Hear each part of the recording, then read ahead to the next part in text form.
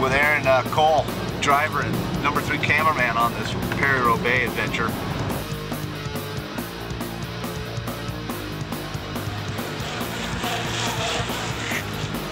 These guys said I could take a shower at the showers in Paris-Roubaix. So I'll go on for it. Total score, we got the passes. What, you have a mustache? I didn't even. I never shake it up. My I didn't even notice that at breakfast. Oh man, it's always got a mustache. Any bars or anything? Ja, ja, ja, new boss. This is their training route right here.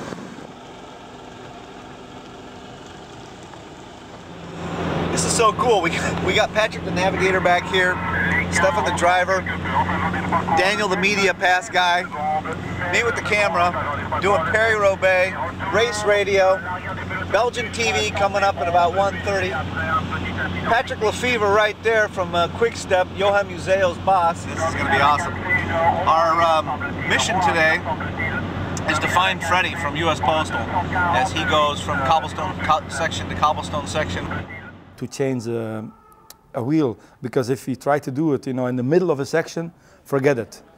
Too much people, um, they go too fast, riders go everywhere behind you, and no, it's too crazy.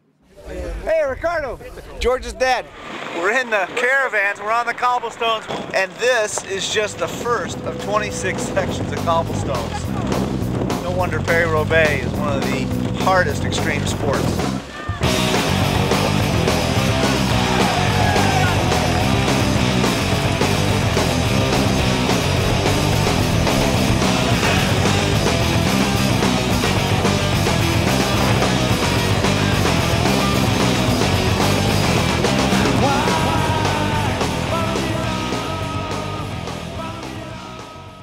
Well, Paris-Roubaix, it was a dream to come here, and now I'm drinking with Phil and Paul in an Irish pub. All right. A bit worried about Scotty.